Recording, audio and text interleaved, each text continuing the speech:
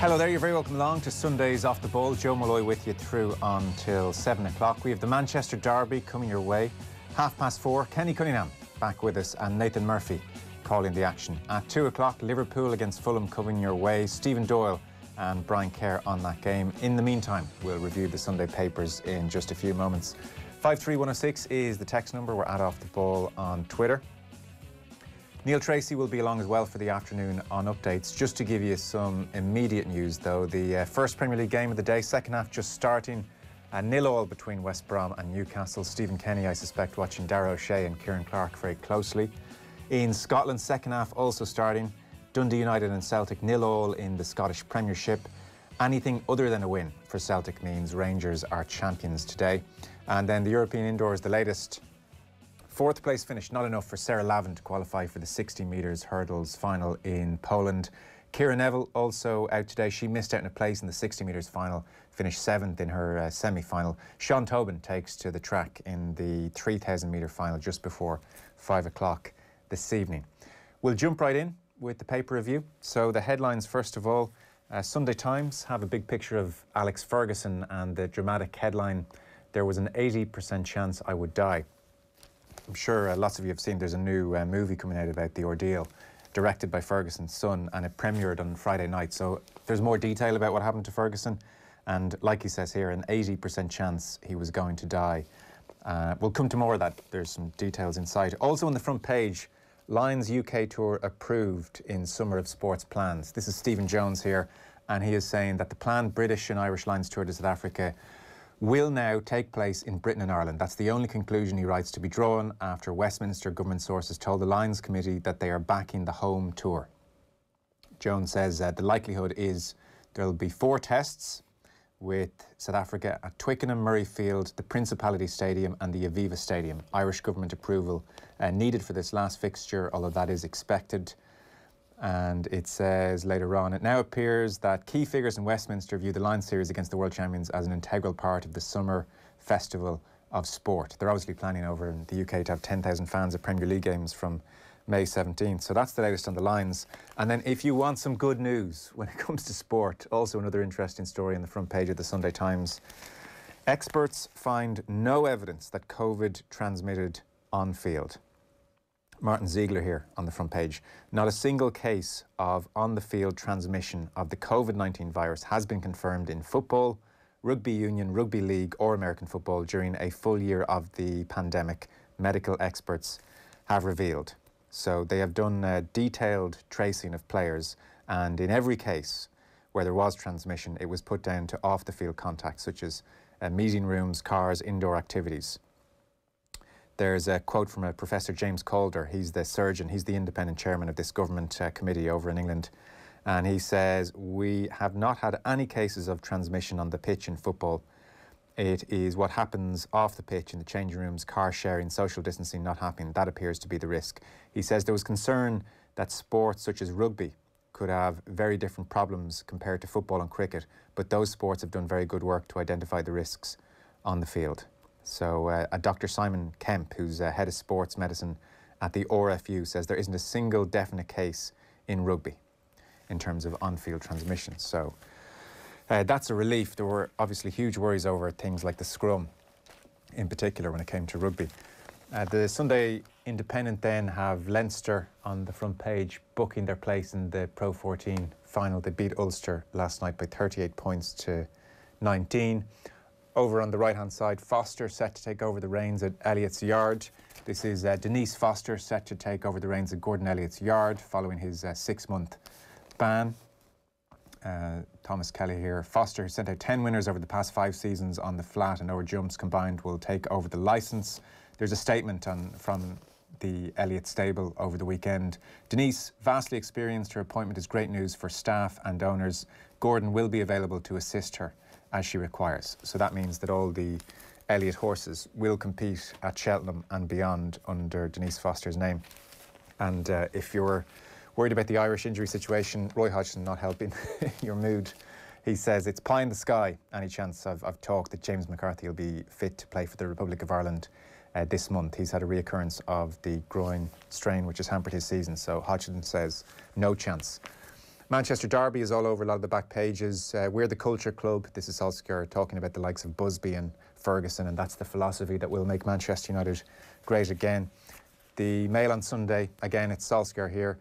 No place to hide, and the subheading is with no end in sight to dominance of rampant City. Ole feels the heat ahead of Derby showdown.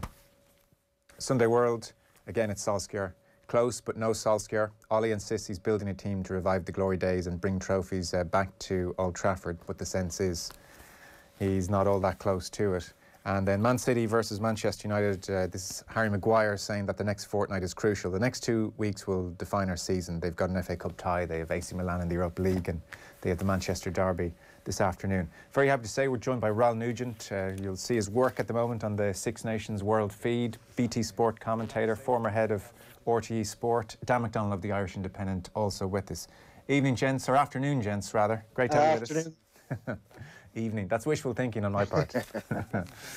um, so, a, a, a Lions tour Ryle, this is unprecedented, I suppose. Maybe it's not unprecedented, but we're going back a bloody long way, that's for sure. It looks like South Africa coming to Ireland and the UK, it seems. Yeah, I, I'm, I'm not sure how anybody's going to feel about that. Um, I, I'm I'm kind of caught in, in no man's land on it. I, I'm I'm a postponement of the tour to next year just isn't feasible. You think when there's got all the summer tours are already booked in, and that's going to cause additional hardship for all the associations uh, in terms of, or all the federations in terms of, of being able to receive uh, the the incoming tours and the financial uh, impact that that has. So you're you're really at a point where you either come up with a solution for the Lions for this year, or you say it's it's not going to happen uh, uh, for for one uh, cycle. Uh, and if the I thought the Australia idea was a really interesting one uh, of of moving it to Australia and allowing it to be a tour. And now it's a reverse tour, uh, reverse Lions tour. At least that seems to be the most likely outcome. And I'm I'm cold on it. I'd be really interested to hear what the players have got to say about it. Um, and how they feel about going into something like that.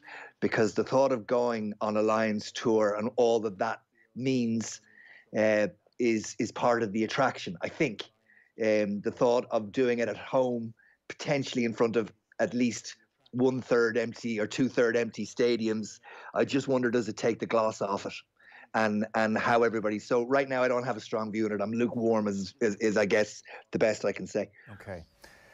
Let's jump into the papers then. Loads of good stuff right across the board. The Gordon Elliott uh, story, as you can imagine, looms large. There is coverage everywhere. Dan, as an overview, what would you say is the general theme on the Elliott situation today? Everywhere. Dan, as an overview, what would you say is the general theme on the Elliott situation today? Yeah, there's there's there's a there's a lot out there, Joe. As you say, I mean, there's there's there's there's probably a, between between between the coverage. There's obviously two sides of it.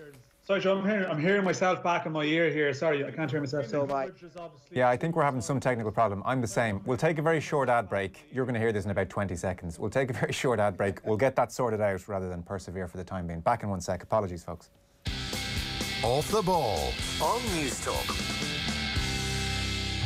Future of work with Jess Kelly and Gavin McLaughlin. On episode one of the new series of Future of Work, we're looking at well-being. What does it mean? What role do managers play?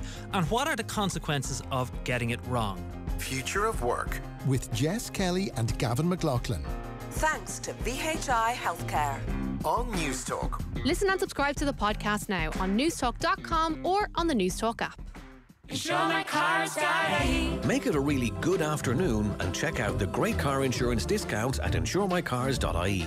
Ireland's trusted car insurance specialists. For super family savings, check out insuremycars.ie. City Financial Marketing Group Limited trading as insuremycars.ie is regulated by the Central Bank of Ireland. Now at Power City, live healthy like a Bosch with up to 100 euro cashback across selected Bosch home appliances.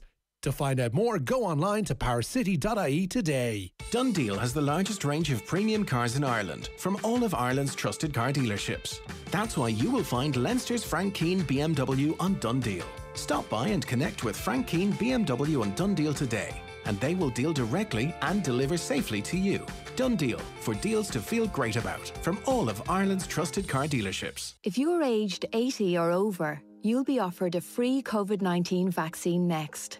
You don't need to register in advance. As soon as your vaccine is available, your GP will let you know. Everyone else will be offered the vaccine when it's their turn. If you have questions about your COVID 19 vaccine, we have answers you can trust on hse.ie. Or you can call HSE Live on 1850 24 1850 from the HSE.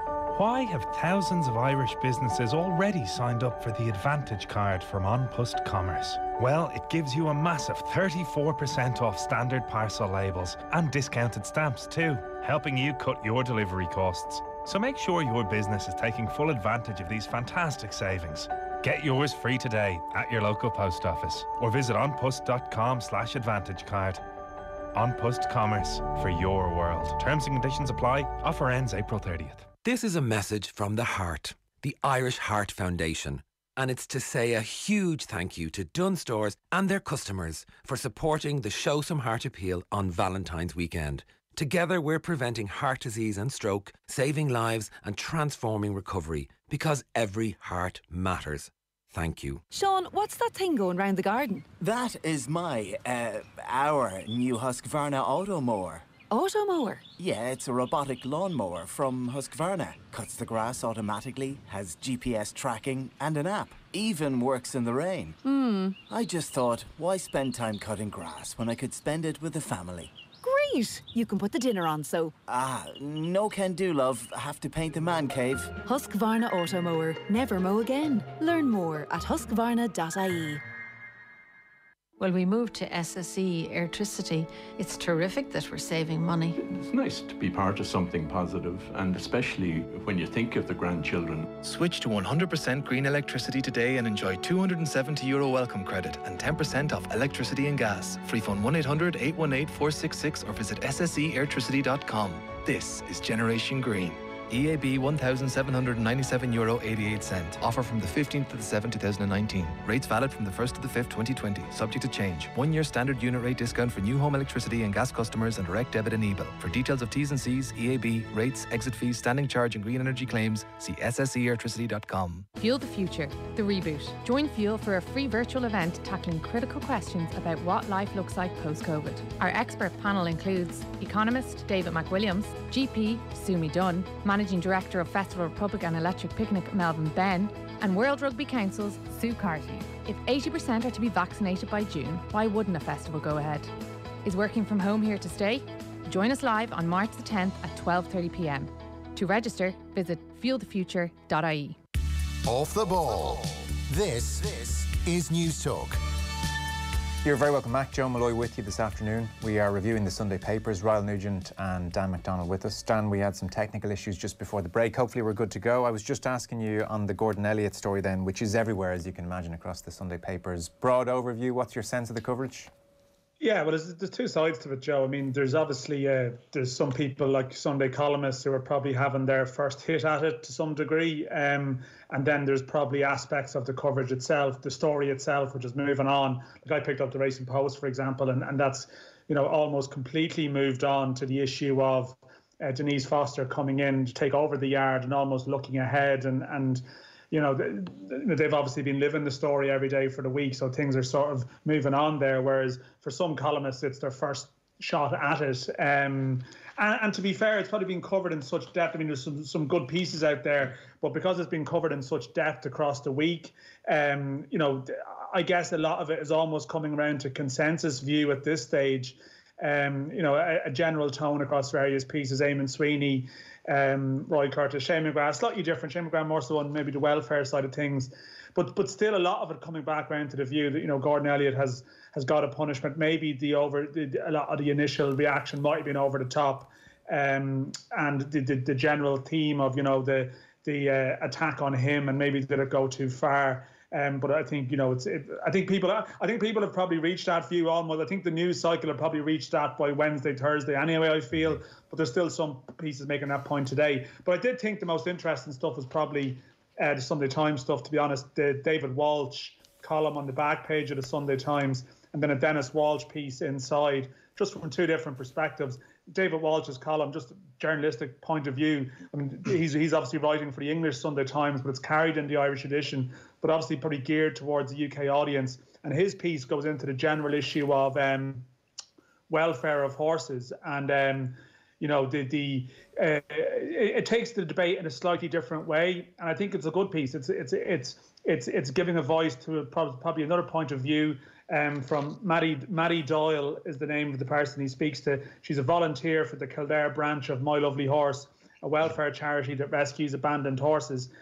Just talking to her about some of her experiences, including an instance in, I think, 2018, a member of the public contacting her, uh, the, the organisation, saying they'd spotted a number of horses wandering in a, a wooded area in County Kildare. Uh, racehorses have microchips inserted in them, which means that they can be identified. And while most of the horses, the strays they pick up aren't ex race horses, in this case it did have a couple of race horses.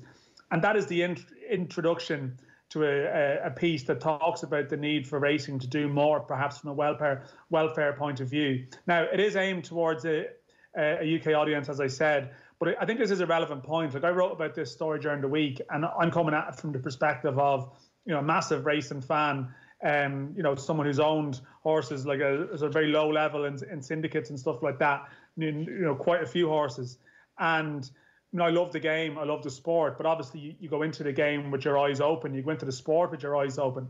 If you're a fan of it, like you know that that you know horses dying is a is a part of it.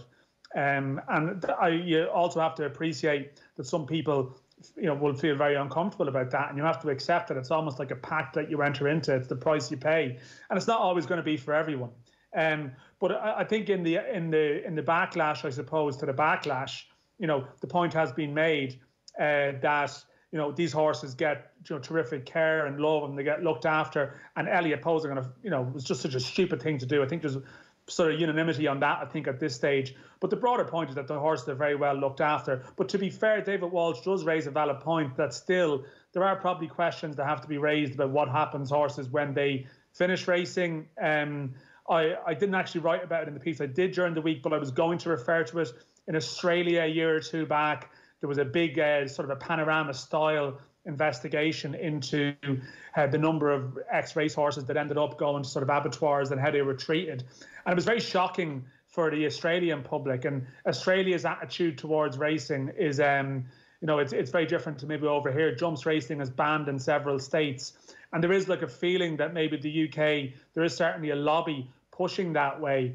And, and, and this piece by David Walsh, I think, backs up the point that really, you know, racing has to be on top of everything because, you know, from the sort of welfare perspective, um, that you know if there are sort of aberrations and as he makes the point i think you know the discovery of um, these horses in 2018 wasn't a one-off. There was 11 abandoned horses in cork three months later and another unfortunate one-off and i think there's like a lot of eyes on the sport right now and i just think it's a good piece in terms of listen explaining that there are other issues yeah. you know in welfare that need to be touched on also touches on uh, sort of the medicalization of horse racing the use of sort of uh, anti-inflammatories and and legal uh, performance enhancing drugs and, and what that says about welfare. But that's obviously tailored towards the UK audience. Denis Walsh piece is more about the owners and how they save yeah. Gordon Elliott. That's interesting stuff. Yeah, the byline on Walsh's piece is look beyond Elliott's callous pose and you'll find stories of neglect of abandoned racehorses. The authorities must do more about welfare. It's interesting that one of those abandoned horses turns out to be War Celeste. Uh, five years before, she had been um, bought for 254 thousand uh, guineas, and they nursed her back to health. Several of the horses they found had to be euthanized, but they nursed her back to health. And uh, the, Maddie, who works for My Lovely Horse, said, "I just thought, wow, she's the most beautiful an- animal." And 10 or more breeders uh, pleaded for the opportunity to adopt the mare with a view to putting her in foal. Some offered generous donations to the charity, but we thought no, racing had its chance with War Celeste. It only wanted her back because there was, again, the chance of making money from her. And then Walsh finishes by saying, Gordon Elliott's unthinking callousness has reminded racing authorities of its responsibilities. What a shame it would be if the sport didn't learn from it. You were coming in there, Rob? Yeah, I, I think you know, Dan's point is well made. There's been a a lot of coverage. I think a couple of things. One, you you would need to be a working journalist in it to keep on top of everything that's been said and what's that's been written. So so all the papers give you a decent overview. excuse me. Uh, uh, uh, this weekend about about what's happened, where it's at, and where it's uh, potentially going. There are so many layers to this. I've flip flopped on this all week in, in my own sense of what's of, of where it is and, and where it's going. Um, I thought the moral outrage stuff halfway through the week uh, was was beyond my comprehension. I mean, uh, in terms of moral outrage, you look at things that have happened in Irish sport in the last 12 months, and then you contextualize this and the reaction to it, and you wonder how we've gotten to where we've gotten. I mean, with, with the exception of the John Delaney FAI story, I, I can't think of another story that's just gone through as much newspaper print and uh, airwaves on both TV and radio as, as this story has. And yet you you you think of the moral outrage that should be uh, looked at in terms of even the John McLean story in in in the uh, Indo today, brilliantly done by Brendan Fanning, and I know we're going to get to that, and, and and the racism against young athletes in this country, and and the gangland money and MTK, uh, and and the the association with professional boxing, and and and and you can go back to the wonderful work done on the on the George Gibney story by by uh, Mark Horgan and the team, and, and still we have no answers as to how we ended up there and and what's been done to address the issue that that we still aren't in a position to have have have George Gibney come back and answer the charges. So mm. so there are there are a myriad of of issues in Irish sport and yet the moral outrage around this story and i understand part of it because there's a simplicity to the story in that man on horse doing what he shouldn't be doing, unequivocally wrong and should be punished. And yet we we we're still here a week later and we're still talking about it. I think what it has done is it, it's it's now brought on another layer, which is racing looking at itself in all its uh, and all its issues. And and with that in mind, the Sunday Business Post on pages 18 and 19 do a really good job of of putting the, the Gordon Elliott story in the middle of all the issues that are there for racing right now, both in Ireland and in the UK. Um, and it's written by uh, Aaron Rogan and, and Barry White. And, and then there's also a piece from a man from this parish, from Johnny Ward. Um, and, and all very, very good uh, in terms of, of giving you a sense of, of what the industry is facing and the concerns and the worries that those in it have and those from the outside looking in are are asking itself. I do have to say one other thing on mm-hmm. it. I'm really surprised at the the lack of reaction so far to the to the statement made by Gordon Elliott Racing. Um, and it's there. Uh, you quoted it earlier um, uh, on the front page of the Sunday Independent. Um, Denise's Avassi experience and her appointment is great news for staff and owners. Gordon will be available to assist her as she requires. Now, like uh, the communications around Gordon Elliott's uh, uh, press releases at times have been uh, right up there with uh, what's gone on with government and, and COVID vaccines. It, it's been shambolic.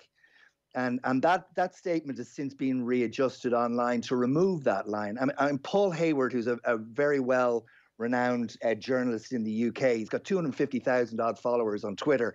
His reaction to that statement was, oh dear, Gordon will be available to assist her as she requires. That's not a ban, it's a flag of convenience. I'd be surprised if Cheltenham, etc., accept that. And it's not an unreasonable point.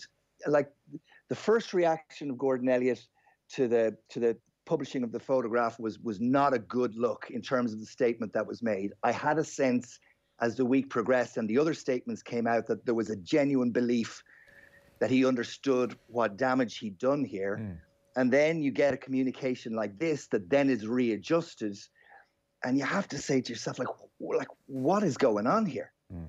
uh, because because Paul Paul Hayward's right. Like that is a flag of convenience. If Gordon Elliott is just going to put somebody else in and continue to do the job racing is going to have an even bigger problem in a week's time because Cheltenham is coming and that that floodlight will be will be on on the situation again.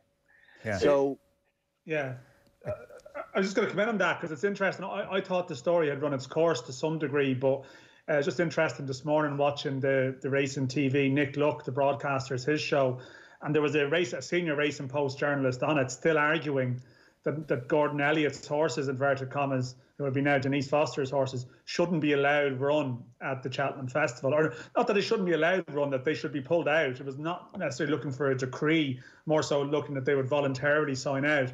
Now that's I think there's been a pretty angry reaction to that, you know, because I mean it would be very unfair on the owners, you know, staff, people in the yard have done very little wrong. But again, it, it exposes the fact that it's a, it's a UK reaction uh, to it, and they're probably fearing that if there is a winner for um, you know, you know the Denise Foster trained horse, um, that that that will cause a storm, you know, and, and, it does seem that would be the case. I mean, we have a situation where you know, uh, you know, Charles Byrnes is starting a ban for a very separate uh, separate instance. Uh, one of his old horses won the other night in the same colours, ridden by his son, but under a different trainer's name, um, who has now taken over the care of his horses.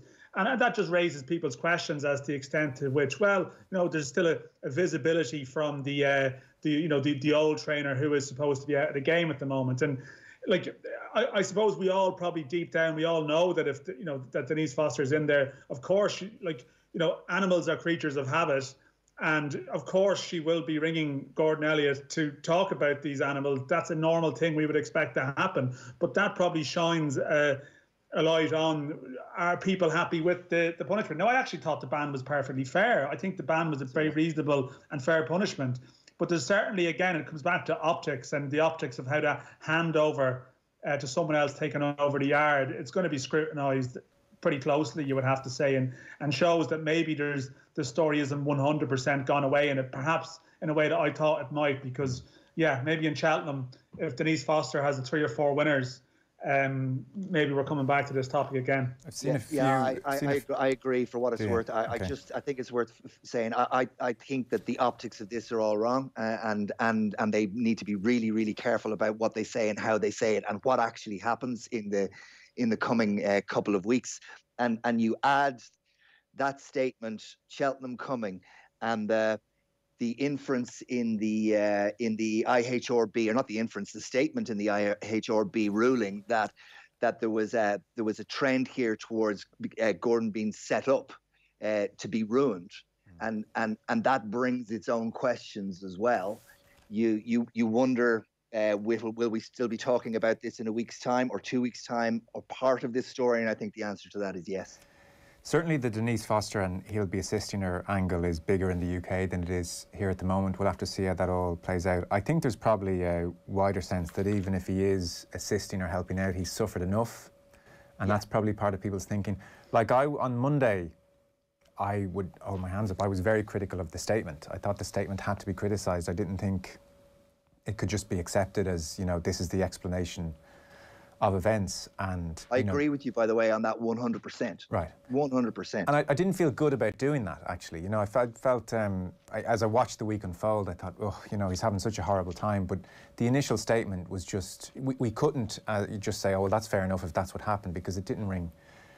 Uh, true, but as the week transpired, Cheveley Stud on Tuesday is a massive blow, and I mean, it was amazing on social media in particular. People were saying, well, he should be banned for life. And the thing was getting out of hand. And on Monday, even with the only statement at that stage saying, well, it was, you know, we're misreading the picture, even on Monday, we made the point here that there should still be forgiveness, there should still be a redemption. And my, my sense of that increased across the week. Um, and so I think with the Cheveley Stud stuff, just with the size of the story and the extent to which now Elliott will always be associated with that photo, by the time Friday came around, I think a lot of people felt, well, like the ban is almost incidental. And yes, it's six months. Dan, you know you're racing more than me. I mean, I read that as well. You know, it's, it's akin to a two or three month ban because things wind down in the summer anyway, and he's back in yeah. August. And so yeah.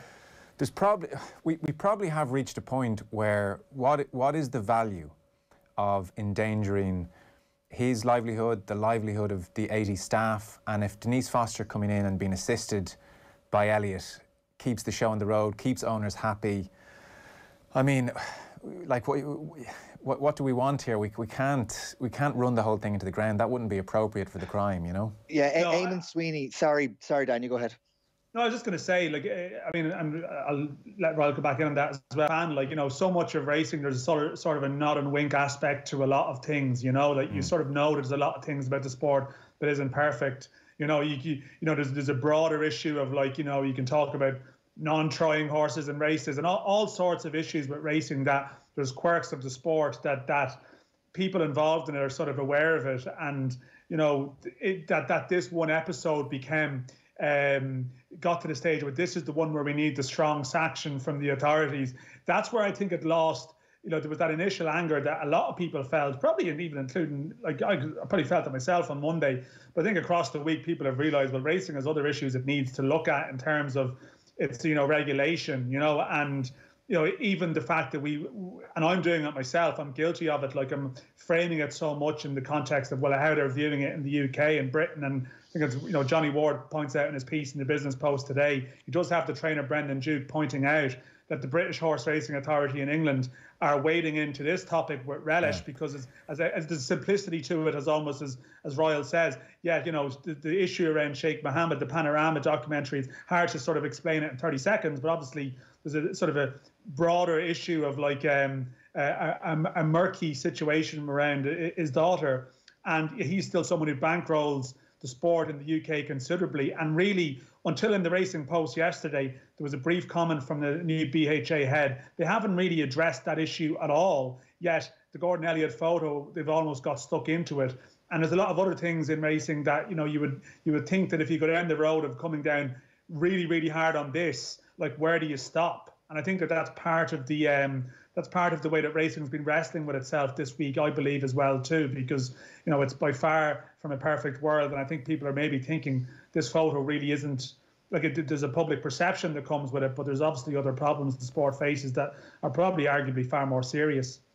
Yeah, and with that in mind, I think pages 18 and 19 in Sunday Business Post do the job of putting it all in context for you. Hmm. Is this a, uh, the, the current ban? I mean, it's akin to a touchline ban for a manager. Like, is, is that not fair enough? Well, I mean, like, yeah, like I think the ban is completely fair. I mean, I, th- I think it's just a, a, case of like, you know, a manager gets a touchline ban, and you still know he's on the he's on the phone to the assistant on the bench. Yeah. You know, and but but I think you know, I, I like Gordon Elliott has still lost, you know, the Cheveley Park horses, including um, you know, Envoy Allen, and they're not coming back, you know, as far as we can see, you know, and that is, uh, to me, like that is a, a serious blow. Um, and that's why, just to back to the papers aspect, the Denis Walsh piece is is quite good because it it details like even the support of Gigginstown and Michael O'Leary from a longer term perspective is isn't that relevant because they're they're pulling back out of the sport. But uh, it points out that the the key part of this week behind the scenes was the the the the Morans. It's a new family, Noel and, and Valerie Moran, uh, who effectively are, are, new money in the sense that they started from nothing 10 years ago and built up a, a company called Prepaid Financial Services uh, for a windfall of uh, 266 million euros. They sold it. They sponsored the yard. They've come in and they're a big they're a big sort of player and their their decision to stand by Gordon Elliott, I think, is like a key part of the week and a key part of his future. Like there was a possibility during the week that like that the other owners would have all followed suit from Cheveley Park and pulled out, and then he would have been destroyed. Really, you know, in terms of everything he made up. But uh, but he still has suffered. He's lost some good horses. His name is you know is is tainted a bit, you know, from from this, or certainly in, in a lot of people's eyes, it will be permanently that view will be held. Mm. Um, but he's missing a whole year of festivals. Um, and he'll come back, as you mentioned, like he'll miss Galway, but really national hunt wise, he comes back next September. But I don't know how you can manage the ban in any way. As you say, touchline ban is an interesting point because unless you get someone to completely uh, go to a different country or something and leave the sport completely, like of course he's going to be around and yeah. offering some insight. And you could almost argue, by the way, if you're talking about welfare being the bottom line here, you know, someone who intimately knows the personality of the horses possibly in a, in a way was always going to be offering advice rather than a trainer coming in and uh, doing their own thing, which could, in some respects, like have some sort of a you know yeah. damaging impact. You yeah. know, so you can yeah. you can take that point to its natural end. You can argue it both ways. Okay, well we should we should move on because we can labour this point. Although the coverage is extensive, as you mean, I was wondering will we get a blow by blow account of the hearing on Friday? We don't really. I mean, no. Denis Walsh makes the point, although this is in the IHRB statement that Elliott offered, quote, no credible explanation to us. And Denis Walsh makes the point this should have been Elliott's public position from the beginning. I think I think that Monday statement, Ryle, as you said, didn't help. You know, it just when, when the only dispatch was one that people just didn't buy. it was just But- the but wrong even- thing to do. even- You just but even in it, yeah, no, I agree with you on that. But even in addition to that, Joe, like having a statement where you where and I, and I absolutely accept that no one believed that Gordon Elliott was going to disappear behind a rock for the next six months and not have any engagement with. Uh, with the, the the the training or the involvement with his horse with the horses that are under his care. However, along with that statement on Monday, you now have a statement again that was made last night that has had to be tweaked because it wasn't the optics of it and the messaging around it were going to be interpreted in such a way that the story wouldn't go away. Yeah.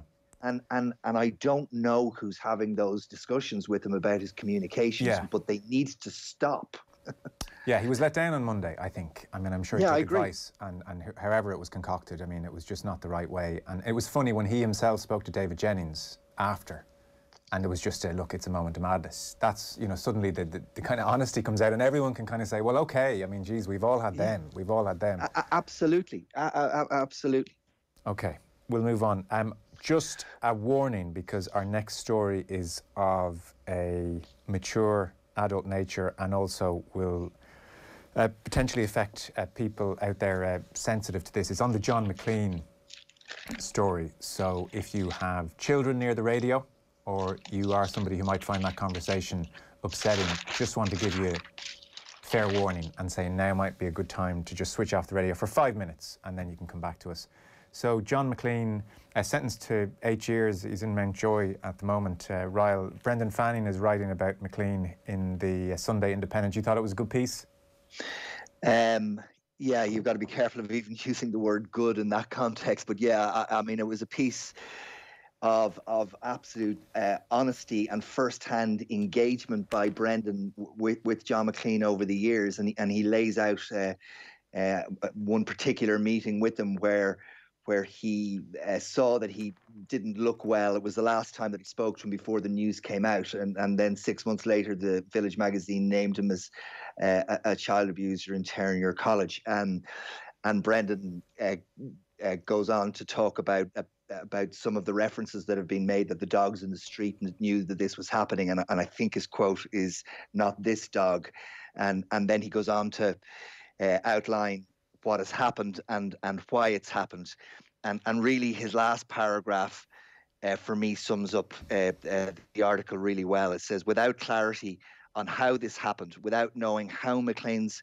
transition from one job to another was so smooth without any commitment to lift lids and shake trees and see what falls out James McLean's victims will have unanswered questions if you were a member of UCD Rugby Football Club, you'd have some questions of your own.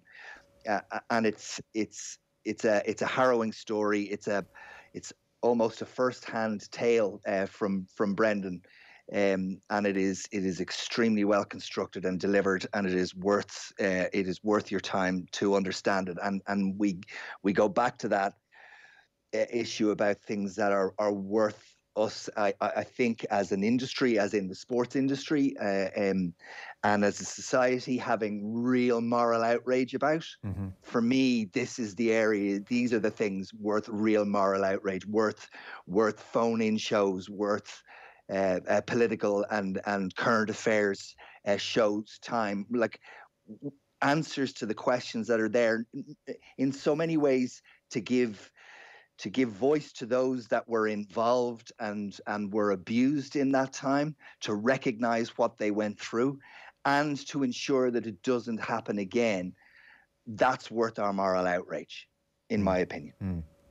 There's almost um, not a jovial start to it, but such a kind of heading to a Clontarf under 20s match and heading down to Dora Doyle and picking up some players along the way. And then this is Clontarf, and then they bump into the UCD AIL side. They're en route to play Cork Con, and he has a chat with John McLean. And as you said, doesn't think he looks uh, well. And six months later, he understands maybe there's a, a stress aspect to his appearance when Village magazine uh, name him. And he asks around people he knows if they knew, if the dogs in the street knew, and a few uh, friends say yes, uh, some others say no, and then Brendan charts his own school experience, and it's horrific. And there's this sense of well, in the 70s and 80s in Ireland, there were just always people in schools, men in schools, to be avoided. And he names some deceased priests who you know, uh, there are deep, deep suspicions over them. We don't need to go into massive detail here at uh, quarter to two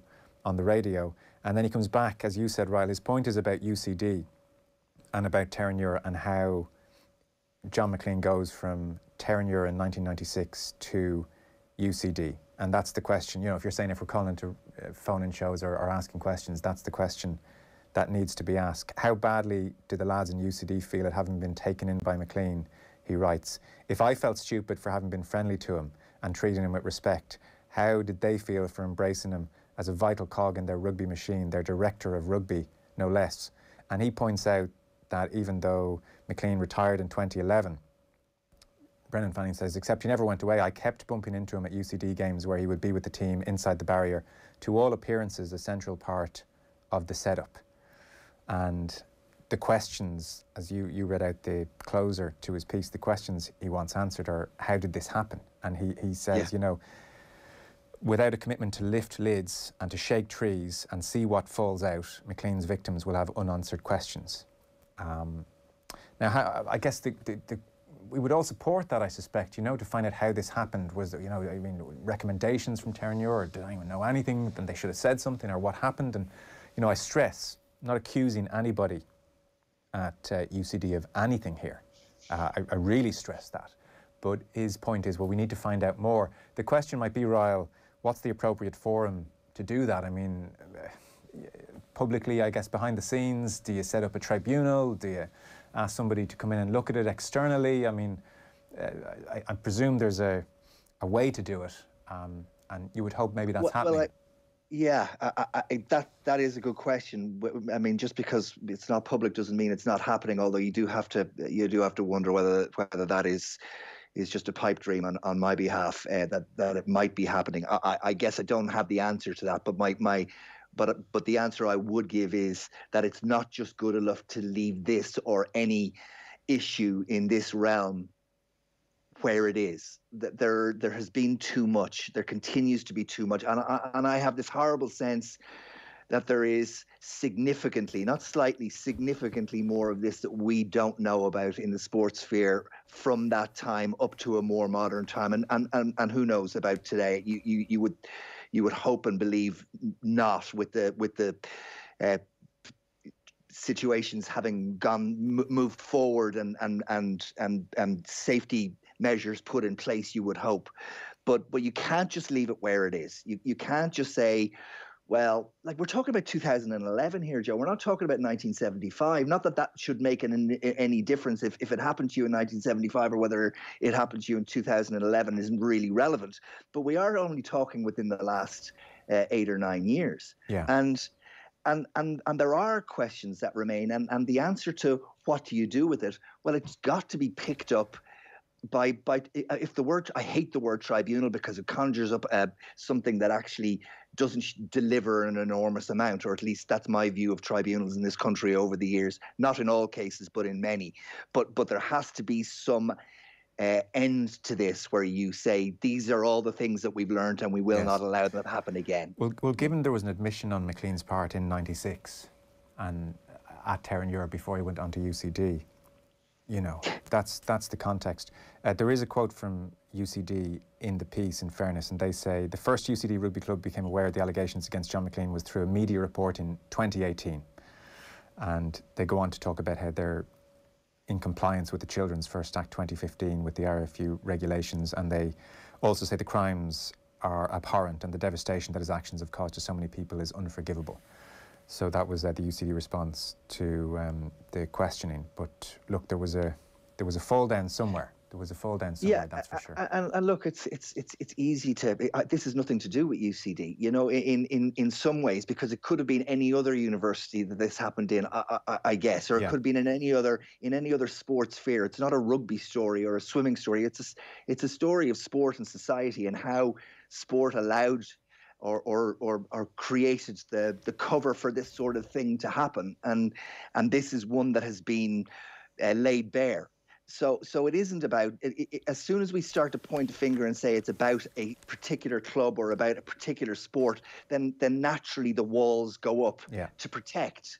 But it isn't about that. It's about it's about young men and young women who who went into situations trusting and had that trust absolutely taken away from them.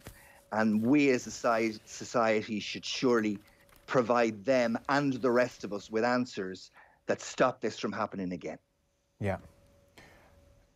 We'll leave that there. If you've been affected by any of the issues uh, discussed, I'm conscious it's very difficult territory for a lot of people listening. 1in4.ie is the website to check. Their phone number as well is 01 662 4070, 662 4070 or 1in4.ie. Uh, Dan, Alex Ferguson, this uh, new movie premiered on Friday night and it was directed by his son Darren and really detailed his brain hemorrhage and the road back. And I hadn't realised just how um, well difficult the recovery was. He completely lost his speech for a time, couldn't speak. My voice just stopped, Ferguson said. I couldn't get a word out. It was terrifying. I was trying to force out the words, but I couldn't get them out. And when the doctors came in, I was crying. I felt helpless, said Alex Ferguson. And then he was talking about just his fear he'd lose his memory. Uh, would have been a terrible burden on the family. If I'd been looking at my wife asking, Who are you? Everything was going through my mind. I thought, Will I, ever, will I lose my memory? Will I ever be able to speak again? He had uh, five brain hemorrhages, or sorry, there were five brain hemorrhages, I should say, in the hospital. And three survived. Uh, three of them died, only two survived. I was one of them, so you know you're lucky. Uh, the movie is Sir Alex Ferguson, Never Give In. I think it's out in May. But uh, a, a, little peek um, behind what went on? Because I guess, understandably, we haven't had, heard too much from Ferguson since his recovery. Yeah, no, it's. I mean, I think I think it's released in, in May. I think this yeah. film is. A, people might be quite curious about that. Um, yeah, I mean, I, I, suppose we associate Alex Ferguson as such a sort of a, you know, a, a, a sort of fierce, you know, a fearsome figure, you know, and and I think I was watching a, a, clip during the week of like famous Fergie meltdowns, you know, in press conferences and stuff like that, and then you see you know, the sort of the, the vulnerability of his situation, you know, that he found himself in. It's actually quite poignant that he's speaking about looking at his uh, wife and wondering, will she remember him? Because unfortunately, so many uh, football men of that generation are, are going through that, you know, in a different way through the issues with, you know, dementia and, and various issues that are being felt. But um, yeah, I mean, it's it's it's it's quite striking, you know, that he he, he describes this um, this scene where he, he got the all clear and he walked out and it was it was sunny and he was thinking, you know, how many sunny days will I see again? Mm. Um, and I suppose it, just goes to show. I mean, I suppose you know, without being too sort of uh, morbid about things, but I suppose I mean the last year has been very challenging for people in a lot of ways, and people sort of embracing or thinking about their own mortality. And like Ferguson, you know, is is clearly you know his own experience broadly has allowed him to you know reflect upon and, and, and think about that. Um, and yeah I, I think i mean the quotes i suppose like you know it's someone who's been through a you know a, a, a dice with death speaking about it. And i suppose there's nothing unusual to some respects about what they say. It's just the fact that it's alex ferguson saying it. Yeah. And you just sort of remembered that um you know he's been he's he's been through something that is uh, through an ordeal that is I, would I suppose change them in many ways. And and uh, yeah so listen I'm looking forward to seeing it. And, and I think there's other stuff in it as well just about his career. And there's little anecdotes in there about Cantona and Ryan Giggs and stuff. So it'll be something for everyone I guess. And you do always wonder I suppose something you know made by uh, his you know directed by his son. You're kind of wondering what what sort of picture will you get um, but it does appear like you're going to get some honesty, yeah. you know, and, and some introspection from him. Yeah, 79 I can't believe he's 79. Know, yeah. it's just 79. I mean, he's always, in my head, he's always just 50 something and, and full of fire and brimstone. Mm, I, I, I think that says something about us all, age, Joe, but we won't go in there. No. uh, so we're going to be taking a break shortly and handing over to Stephen Doyle and Brian Kerber. we're going to continue on our social channels and you'll get the rest of the chat on um, podcast.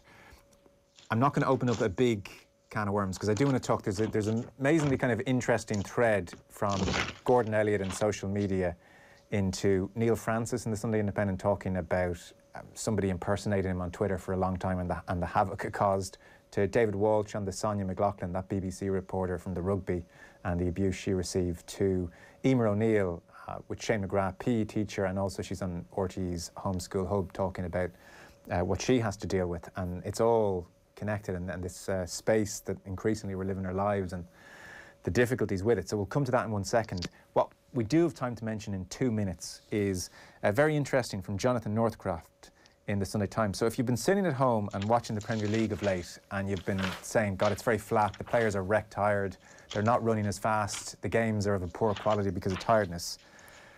Well, Northcroft says the stats uh, prove the opposite, in fact. So, a SkillCorner is the data program used, and basically, um, last year, so the year Liverpool won the league title, was sky high in terms of number of runs at an intense level and uh, the speed of them. That was all time high. And this season is up on last season. So Jonathan Northcroft makes the point, Dan, that this might be the atmosphere which leads us to believe it's all a bit flat, or just, you know, we keep hearing it, so we're starting to take it as received wisdom. But actually, for all the tiredness out there and for the amount of games out there, the players are hitting higher speeds on last year and the number of runs at those high speeds also up on last year. Yeah, no, it's it's very striking. All right. I mean, I suppose the one point you could make is obviously, you know, someone like Man City is top of the tree. I mean, they can rotate their players. So you know, the the, the, the amount they can, you know, the, if you could, the bigger the squads they have, the more capable of those that can come in can hit those levels. So you, you want to see some maybe individual figures for for some of say you know the questions around Liverpool and their fatigue and I think you know they've had a, a I think they they're up towards the top of the list of players who've played the most minutes. So obviously there's that little caveat to attach to it. But I mean, I think it's just there's also a broader point with it as well. But there's two aspects. One, yes, and I mean the TV experience now. I'm finding it hard going. I think at this stage, look, you just you know you get so used to. Uh, and maybe you get used to going to games and, and, and, and you know the closed doors aspect, but I think it's it's harder. I think it's it's it's not as entertaining at all. I don't think people can pretend that it is. Um, but also the extent to which modern football is just so athletic as yeah. well. I mean, it's it's just an extraordinary level of athleticism that's required, and the importance of sports science departments. And you look at a Premier League glossary of the staff now, and below the line, there's like all sorts of uh, roles and figures and jobs. No, it's and true. this just brings home that point as well. 2008, Ryle, when Manchester United were winning the Champions League, that Tevez, Ronaldo, Rooney team. We yeah. all thought they were super fit then. The point is made in the piece. Uh, Premier League these days, in comparison with 08, features 40 to 45% more high intensity running than 13 years ago. So it's basically doubled in the space of 10 years. Sure, and, and and I read the article and I thought it was really really interesting. But there is one piece here that says uh, another piece of uh, pre- another piece of, of perceived wisdom is that all uh, the workload is causing unprecedented volume of injuries. Not true, um, but sorry, it's only at least over the first half of the campaign. So this this uh, data is probably only up as far as February, and and and I just have a doubt with still what a third of the season to go whether those numbers are sustainable. And the second point, which is probably more pertinent, which is. It, it, it may well be, but the question is how long can they maintain that for? And you might find that a 33 year old's career is going to actually finish his 31 year old's career or a 30 year old's mm. career because of the mileage that goes on the clock at 24, 25, 26. Yeah, an interesting point. We're going to take a short break here. If you're listening on FM, Stephen Doyle and Brian Kerr are going to pick it up on the far side. Liverpool against Fulham is coming your way. Here on our social channels for the next uh, 15, 20 minutes or so, Ryle Nugent and Dan McDonnell and myself will continue chatting through the Sunday papers. And just like that, we can keep going. So, fellas, I mentioned that weird commonality between the Gordon Elliott story over here and Emer O'Neill, the PE teacher on RTE Home Hub, Neil Francis over there, Sonja McLaughlan of the BBC down here, and all in that space where we're spending more and more of our lives, Ryle. And I think we can safely say none of them, Sonja McLaughlan, Neil Francis, Emer O'Neill, and certainly Gordon Elliott this week, having a good experience on social media. Uh, no, I, am I, I, I, I went through the papers this morning and I, I saw this theme emerging from from from uh, all those articles that you refer to. And, and whatever you believe let's start at, at what what started this. Whatever you believe about the Gordon Elliott situation however strong your view is however morally outraged you might be by it like what what is it going to take? Does it mean that unless he's sitting destitute in the corner of of a of a small uh, village somewhere uh, in in rural Ireland where his life is in ruins and his family has fallen apart is that the point at where you say okay now I forgive you or now I'm happy because actually what you did was was was worth that uh, in, in, my view. Um, is it okay because of the color of your skin? Is it okay because of your gender? Is it okay because you don't clap somebody down or you're perceived not to have clapped the winners as Ellis Genge uh, was given death threats and online because he was seen to have not clapped Wales down the uh, the uh, tunnel after their, their victory over England last week, and he receives death threats online. I mean, as, as Neil Francis points out in his article, like we have organizations which are designed to prevent road deaths and drug deaths and alcohol deaths, etc. If they can save even one life, then the existence of that group will have been worth it. I wonder how many suicides worldwide can be attributed to what people read about themselves on social media. And, and I think we've got to a point, gents, where enough is enough now. Like at some point, we need to be stand stand up and, and be counted as as a society. And like you look at what's already in place in this country, we have a broadcasting association of our broadcasting authority of Ireland that looks after the behaviours uh, and the ethics of television and radio. We have a press council that looks after the ethics and the uh, uh, behavior of, of print newspaper. And yet, here we have platforms that are creating content, albeit content created by individuals, without any sort of of um, um, sanction or censure. And it makes absolutely no sense to me because we all know this is where we're going, and it ain't we ain't dragging it back. But we do have the ability as a country, and Australia have shown it recently with Facebook and their attitude to to them taking uh, um, sources there without without paying for them or without crediting them. Like we do have the ability to to sanction that, and I'm not for one second suggesting that we in any way infringe or kill free speech before people jump on board and say that's the only way you can do that you you you do as a society have the right to say this is as far as we're prepared to go this is as far as we're going to allow people to behave in public. And if you don't like that, well, then be somewhere or exist in some other space because it's not acceptable in in day-to-day activity. And and I feel really strongly about it now. I think that I think that the Minister for Communications and the government have a role to play here and say we need to start monitoring and managing the social media platforms for harmful content. End of. Mm. There's no excuse for not doing it. And and and if you're going to do it for broadcasters and you're going to do it for newspapers, why are you not doing it for social media companies? Somebody needs to explain that to me. Yeah, it's so tricky and difficult the more you look into it. So, for instance, take the Elliott thing. Say somebody was of the opinion, ban him for life. Mm-hmm.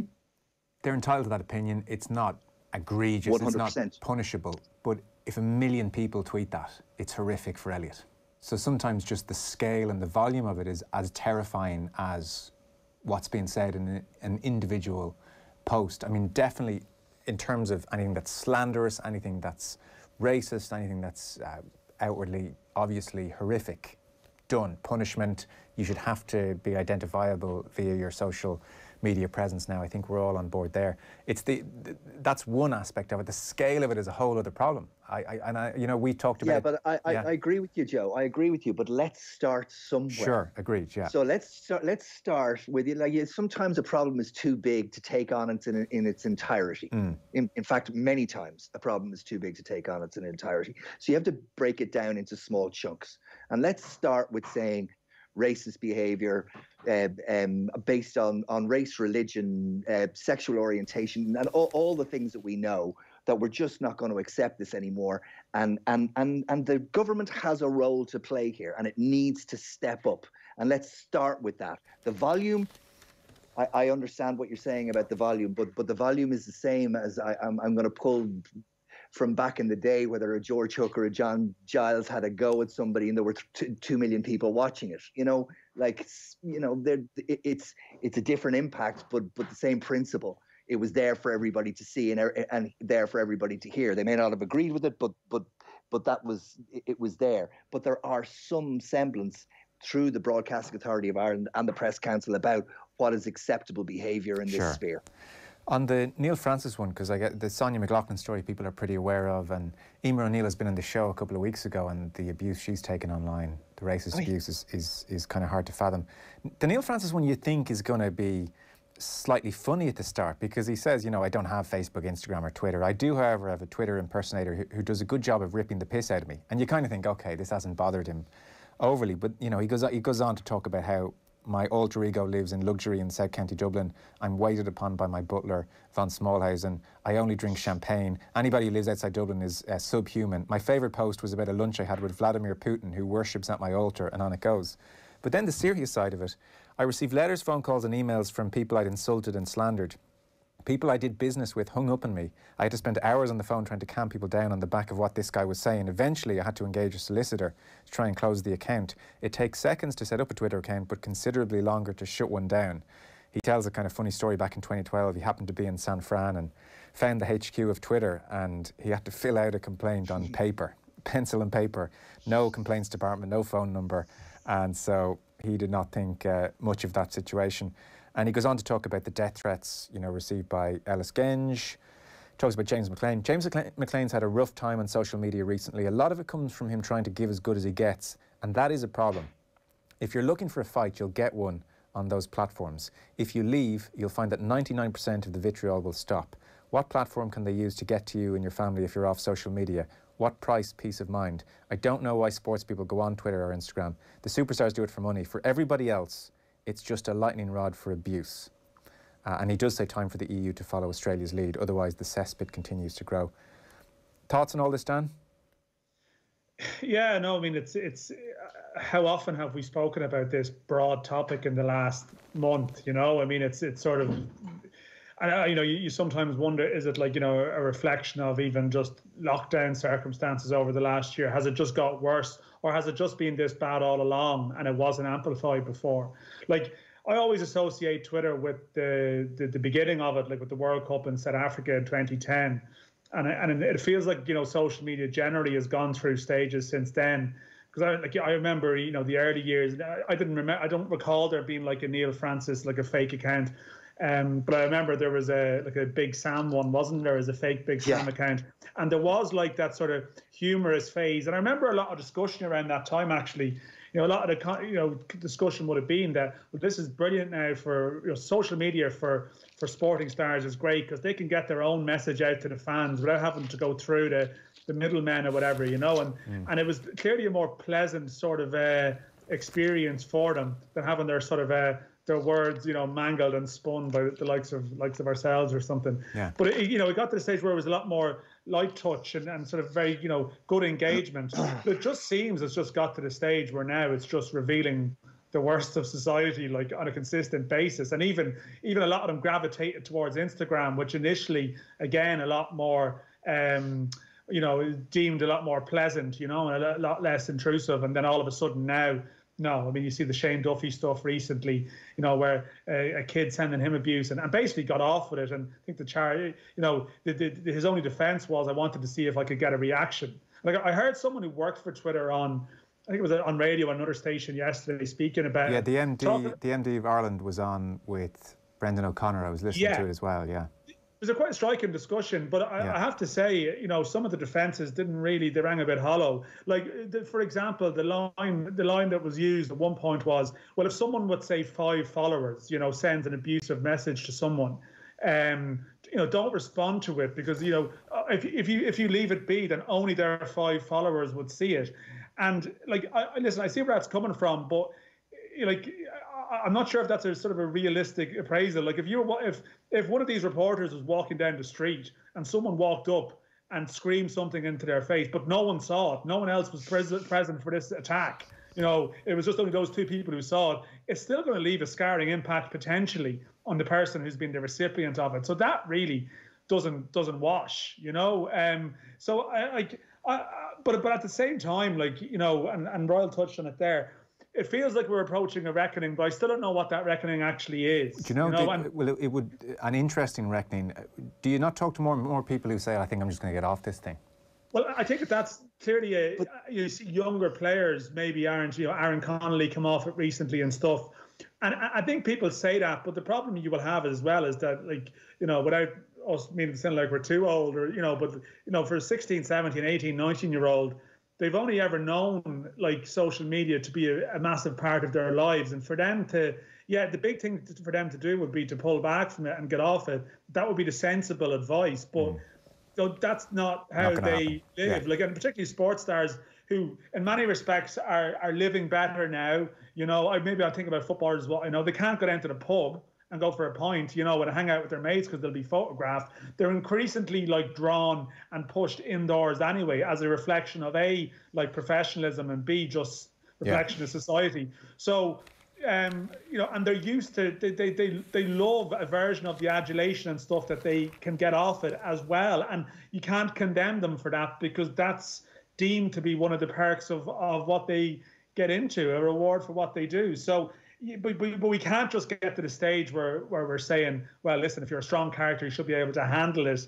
Um, and no, you're into, man, you're into man up you know? territory there. Yes, I think you are. Yeah, yeah I think that's the and, problem. And, I don't know where it goes. Well, but but but we, I, I like I think there's a reason. I don't still like I'm not expecting these guys to regulate themselves. I'm expecting us as a society and as, a, as, and as a country to, to regulate it for them and say, like, what is the difference between? And it's not just a Twitter issue, whether it's Twitter, Instagram, whether it's uh, whether it's Facebook, whatever it might be. Like, where is the the BAI or the Press Council version of that, mm. and why isn't it there? Mm. Because simply technology has moved on and and and with it the the, the ability to to broadcast or the ability to, to communicate en masse and to create content is there, and it has not been regulated. Now, that's a governmental requirement. Mm. Or else, and I, look, I'd be very, I'd also be very critical of some of the measures that are in place for the BAI and in, and and for the and for for press. I think sometimes they're overbearing and they're they're they're overly uh, regulating, but at least there's something there everybody has to benchmark and is held accountable to. Like this is this is not rocket science, but there is a real lack of willingness to take it on, and it's down to the government and down to the Ministry of Communications to, frankly, step up. Yeah. Like by the way, by the way, that Shane McGrath, that Shane McGrath piece um, with Emer O'Neill is really, really good, uh, and and she's such a, an interesting and engaging woman. Um, it's it's worth your time. It is, absolutely. We had her on the show a couple of weeks ago, and yeah. in the main, just because the racist abuse she was talking about was so horrific, that was the bulk of the piece. But in Shane McGrath's piece, her basketball career is amazing, and eight surgeries on her leg was the other thing. She had eight knee surgeries in her time playing basketball over in uh, college and talked about just the extent to which you're almost a celebrity on a university campus over in the States if you're on the sports team. Like they had cards with their pen picks on them and they were signing them for the 16,000 students after games and everyone knew who they were. So it's kind of an amazing insight into yeah jock life, I guess, because uh, she said it's exactly like the movies. Everything you see, it's like that if you're if you're playing sport over in college. Um, we should finish up because it's a sunny day and I'm sure you two want to get out and get moving.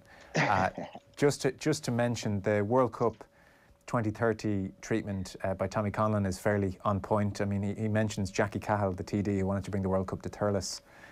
Uh, this Tommy thinks is unlikely, I think we can uh, safely say. And he says of this whole World Cup situation, there's simply too much work and botheration in doing a million small things well when you can come across all grand and visionary with talk of world class this and state of the art that and Bertie Bowl the other. End of the day, you can't beat a good feasibility study for a castle in the air with the corresponding cost benefit analysis thrown in for good measure too. And he says, Who knows where we'll be in the summer of 2030? One thing's for sure, we won't be in Semple Stadium waiting for the kickoff of Germany against Paraguay. Um, and he does say of Ireland's involvement in this, uh, you know, quite British bid, and Boris Johnson talking about football coming home, which he says was an early diplomatic gaffe. Uh, maybe now Paddy is uh, happy to play the part as a sort of diplomatic mudguard for England post Brexit, so long as we don't have to cough up too much brass for the pleasure of the ride. So uh, Ryle, I don't know if you caught Dan McDonnell during the week. He was quite supportive of this and wanted an end to the an end to the cynicism. An end to the cynicism, said Dan uh, during the week.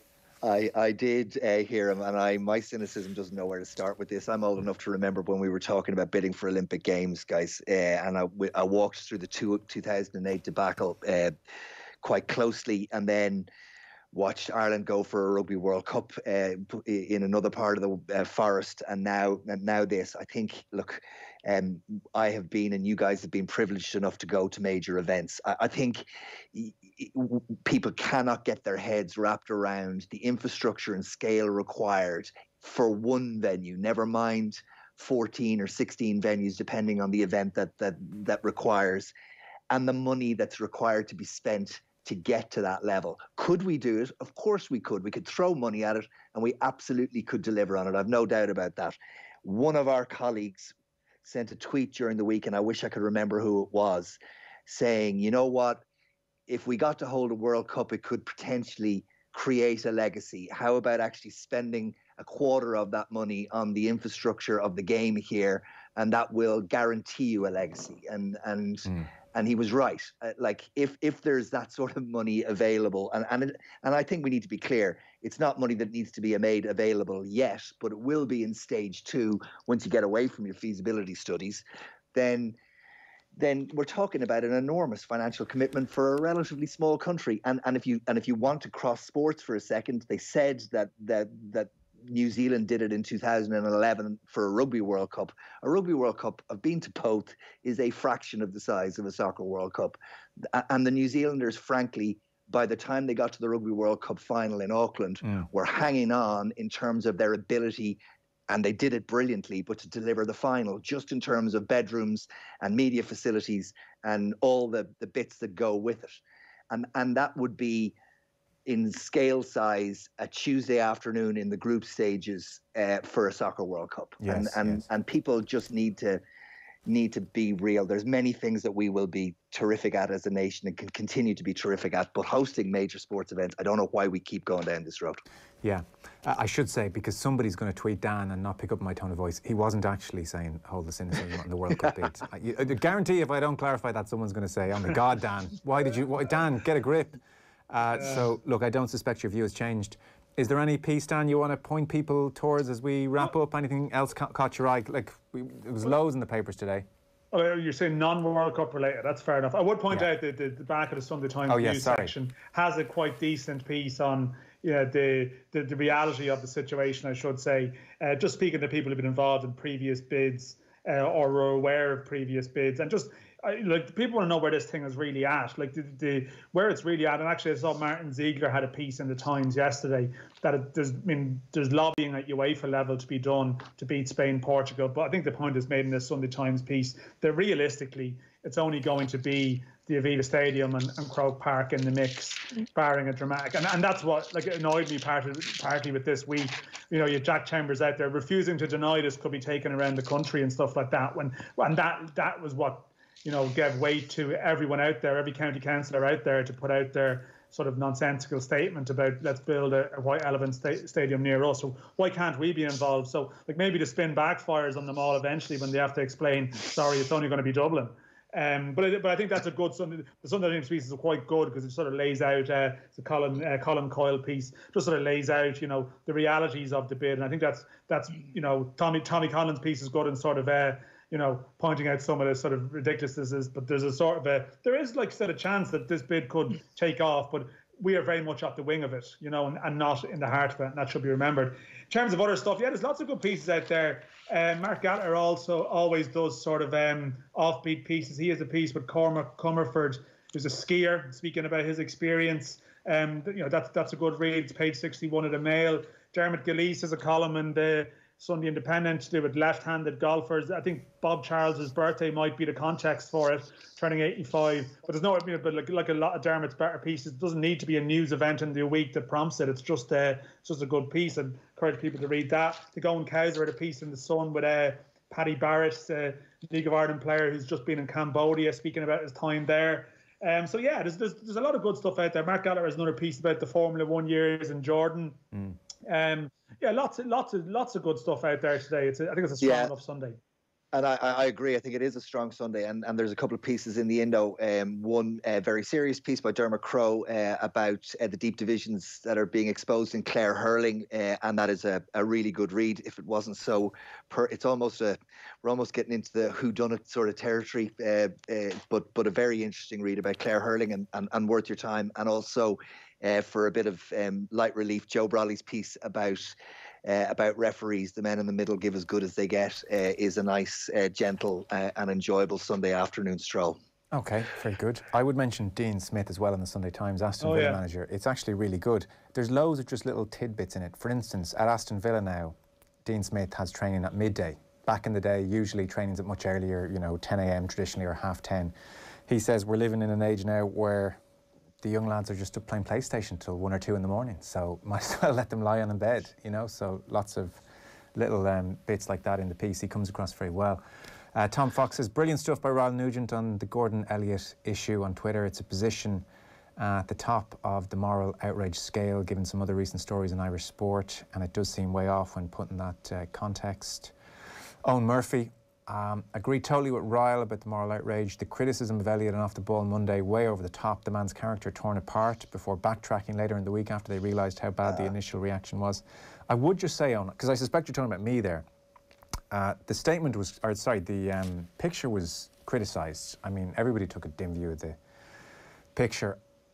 I would just say two things. The statement was obliterated for sure, but I think it had to be. I don't think that could stand, and everybody, you know, there's things you have to stand up for sometimes and say, well, that's not right. And I felt that statement was not right. We couldn't just take that explanation as a version of what happened and say, well, that's that dealt with. And the fact that Elliott spoke to David Jennings and gave a totally different version of events and says it was a moment of madness, as opposed to the statement which said, "Oh look, you don't quite understand what's happened here. I was the phone call and accidentally sad, and I was just gesturing to somebody that I was on an important call." I mean, I couldn't just come in here and say that's fine. Like he is also in a position of power, and there are horses under his charge. So that had to be called out.